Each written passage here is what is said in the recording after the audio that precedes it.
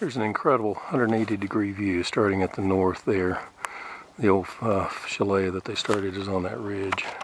We came over it from the Waterton Valley, which is beyond those ridges. Then nothing but a string of mountains. Big meadows below. Our camp is right down there, was right down there, 50 Mountain. And the mountains continue on around. I'm on the Highline Trail, the Waterton Valley Trail terminates uh, down at the campsite.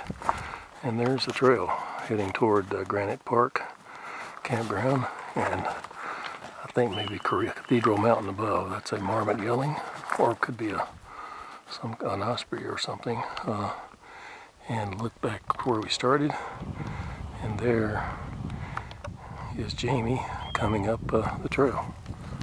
I think it's a marmot.